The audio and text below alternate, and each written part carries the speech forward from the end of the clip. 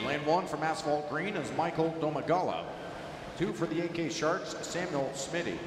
Three from Aquazot Swim Club, Corey Okubo. Four for the Northern Kentucky Clippers, Maxwell Williamson.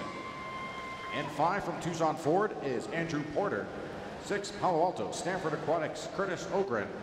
Seven for Mount Pleasant Swim Club is Zachary Learley. And an eight, the YMCA of the Triangle area, Colin Ellington.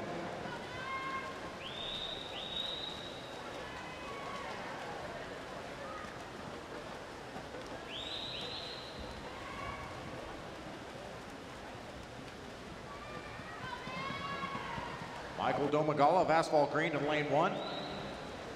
Metropolitan LSC record holder.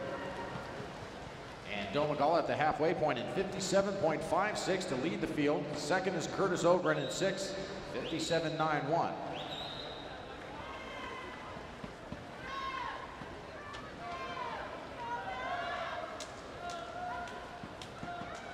This is Maxwell Williamson of the Northern Kentucky Clippers in lane number four, taking over on the breaststroke leg.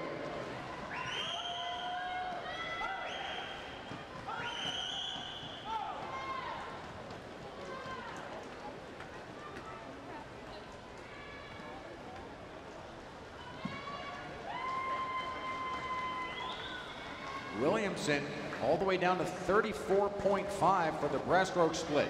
132.8 with 50 meters to go. He is followed by Ogren in six and Porter in five.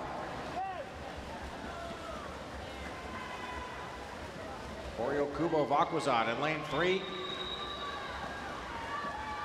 He's having a good freestyle leg, but no one will catch Maxwell Williamson out of Northern Kentucky.